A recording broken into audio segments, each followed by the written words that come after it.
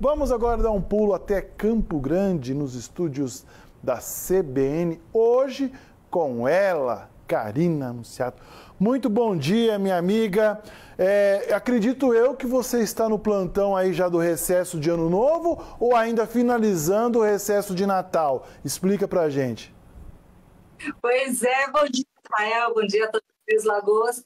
Já curti, desacelerei no Natal, passei com a família. Agora, ó, prontidão para o ano novo, viu? Aguardando aí 2024, sempre com muita informação para toda a nossa audiência.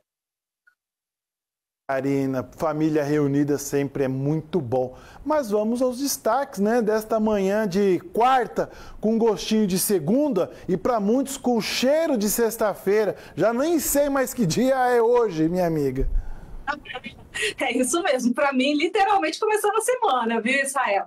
E eu trago uma informação que com certeza é, isso vai impactar não só na rotina do Campo Grandense, porque é um, novo reordenamento no trânsito aqui na capital, mas especialmente nessa época do ano, né, Israel? Tem muito turista na cidade, muita gente de fora que está por aqui visitando o Campo Grande, porque veio passar as festas de Réveillon também, né, visitando a casa aí dos parentes, da família. E um trecho que é fundamental aqui em Campo Grande, a principal avenida aqui da capital, Avenida Afonso Pena, no cruzamento com a rua Rui Barbosa, tem um ordenamento de trânsito novo a partir de hoje.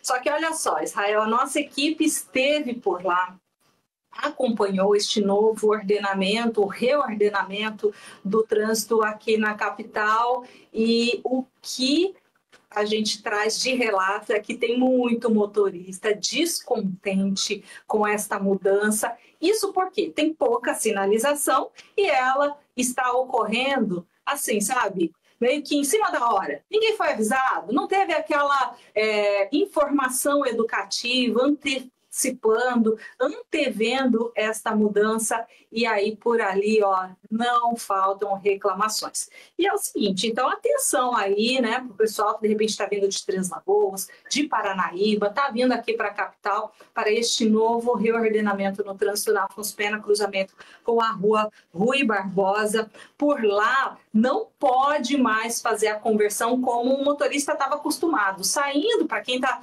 no sentido centro, Parque dos Poderes, indo para o Shopping Campo Grande, não pode mais fazer a conversão à esquerda entrando na Rua Rui Barbosa. Tem que ir uma rua acima, que é a Pedro Celestino, contornar, entrar na Pedro Celestino, 15 de novembro, aí sim você vem para a Rua Rui Barbosa.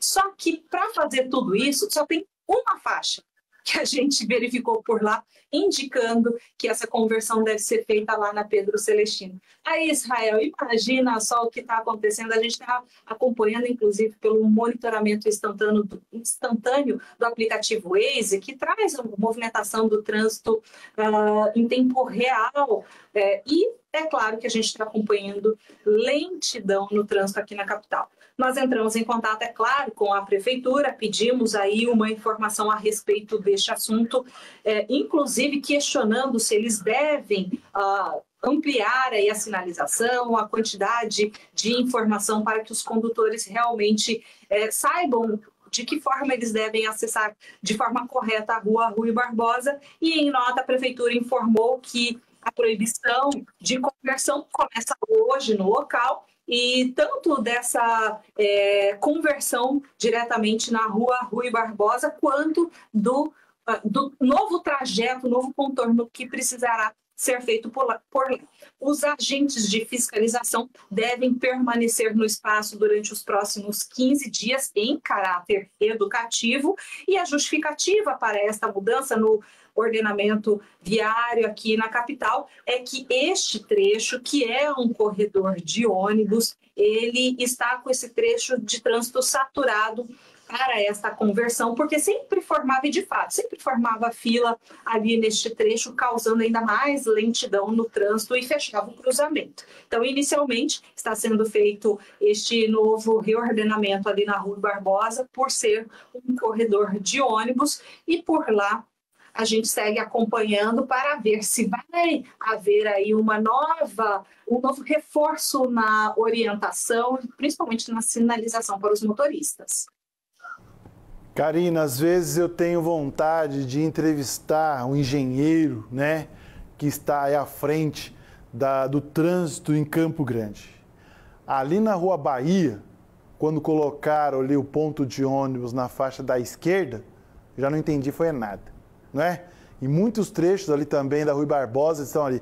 Agora, fechar a Rui Barbosa, a conversão na principal avenida de Campo Grande, ai, ai, ai, ai, ai, quanta dor de cabeça, hein? Enfim, eles que são engenheiros, eles devem saber o que estão fazendo, né? Agora, nós da população temos que acabar acatando e aguardar o porquê de não estar permitido ali a conversão. Mas o que vai dar o que falar, minha amiga, ah, isso vai. Vocês vão ter pauta aí, ó. Pode colocar janeiro, fevereiro, por aí vai. Muito bem. Mas, Karina, vamos. A partir de hoje, então, é com você a participação, né? Até sexta-feira. Vamos ao que interessa: planejamentos da ceia do Réveillon. É, hoje vamos falar dicas de roupa. Você tem essa também de cor ou você não acredita? Olha, Israel, você sabe que eu sou bem, bem liberada nessas coisas assim. Eu não fico me apegando muito, não. Eu vou mais com aquele sentimento, com a ideia de que a gente tem que estar tá realmente bem, né, mentalmente, é, entrar com essas vibrações positivas, até que a cor não me é, altera muita coisa, não. Eu não fico muito presa a isso, não. Mas é claro que se tiver ali uma roupa branquinha, né, sinal de paz, ou quem está buscando din-din pro amarelo também, aquela forcinha, né? Vai que ajuda. É, Karine, lembrando, tá, que ainda dá tempo, já que você falando da forcinha, para você fazer a aposta da Mega da Virada, tá? Mais de 550 milhões de reais vão ser sorteados aí na virada de 2023 para 2024. Amanhã, Karina, nós vamos falar de pratos, tá? Porque eu gosto de, dessa conversa de cor de roupa, de prato, que dá sorte. Minha filha, o que eu tá de comer o, a, o porco e a lentilha, minha Nossa Senhora. Mas enfim, a, a, o prato da, do, da, da, da ceia de Réveillon fica para amanhã, combinado? As dicas aí para a gente saber o que realmente a gente deve colocar no nosso cardápio para ter essa virada de 2023, 2024, ó, para cima, viu, Israel? Agora me diz, você já voltou para o treino pós-natal? Pois é. Pois é, menina. Responde, Responde. A gente quer saber também. Ai, ai, ai, ai, ai, viu? Ai, dona Karina. Obrigado, viu, dona Karina, me deixar aqui em saias justas. Vou tentar equilibrar essa balança para o Réveillon ser um pouquinho mais leve, Israel.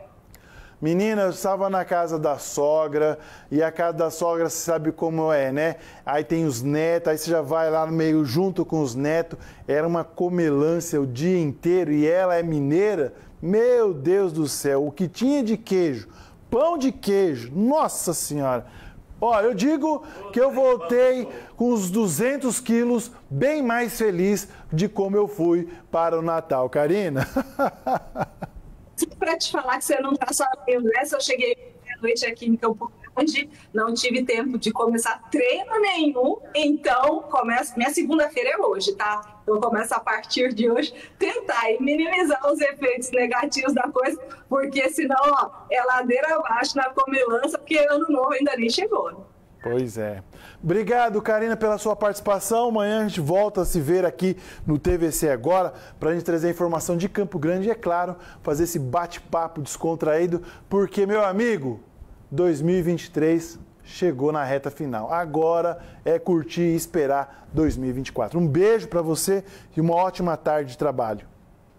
Beijo grande para todas as Lagoas. Até amanhã.